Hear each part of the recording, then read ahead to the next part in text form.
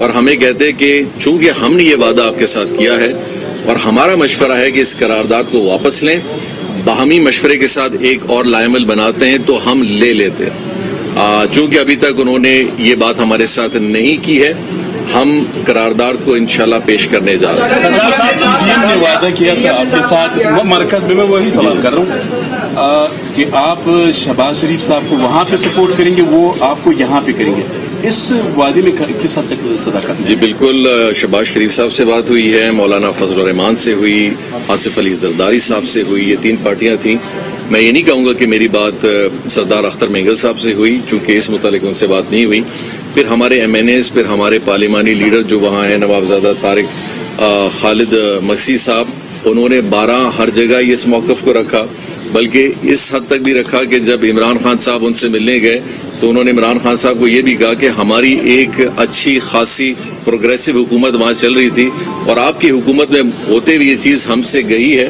तो हमने फिर बाकी कायदीन के साथ यही बात रखी, उन्होंने एग्री किया और बहुत सारों ने शायद इसको ओपनली डिस्कस भी किया। तो ये बिल्कुल बात हुई है और ये आप उनसे भी पूछ सकते हैं। शायद उसमें ये ज़रूर बात आएगी क्योंकि हमारा वन पॉइंट एजेंडा था। बलुस्तान अवामी पार्टी का देखें एक ही एजेंडा था कि वो अपनी जात के लिए नहीं था। सरदार रिंसा भी यहाँ मौजूद हैं। मीर नमतुल्ला जरी साहब भी यहाँ मौजूद हैं ये अवामी नेशनल पार्टी यहाँ मौजूद है।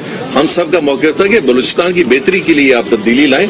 खुदूस बिजैदो साहब से हमें कोई गर्ज नहीं है लेकिन जिस तरह के तर्ज हुकूमत है ये बलूचिस्तान के लिए ठीक नहीं है। उसकी तब्दीली के लिए आप हमसे बात करें। अगर आपका साथ नहीं देते तो क्या आप विभाग में उनका साथ छोड़ेंगे देखिए अभी एक सवाल एक बहुत एक ताज़ा सवाल पैदा हुआ है जो अभी अभी पैदा हुआ है कि अगर पीडीएम की जमातों ने अगर आज बलूचिस्तान अवामी पार्टी बाप का साथ नहीं दिया कुछ वजूहत की वजह से पहले तो हम ज़रूर ये जानना चाहेंगे आखिर क्यों?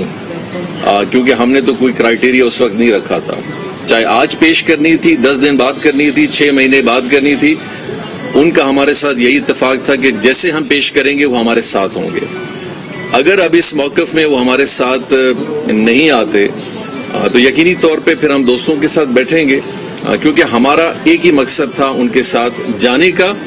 और इमरान, देखें, इमरान खान से मेरे कोई पर्सनल ताल्लुक खराब नहीं है।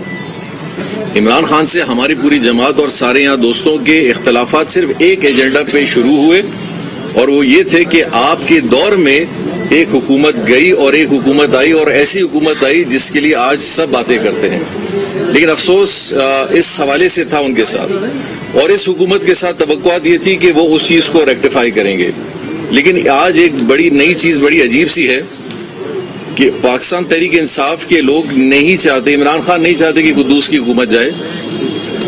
और पीडीएम के लोग भी अगर नहीं चाहते कि कुद्दूस साहब की हुकूमत जाए तो एक बड़ा सवाल बनता है, इस जंक्शन पे कि वो इख्तलाफ किस बात का है? तो मेरे ख्याल से अभी ये सवाल को उनको खुद क्लियर करना पड़ेगा।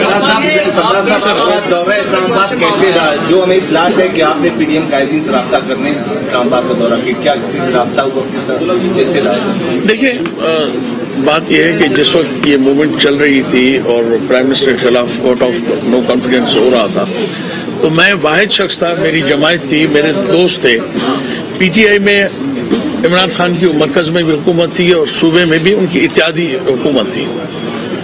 मैंने पहला शख्स हूँ जिसने रिजाइन किया।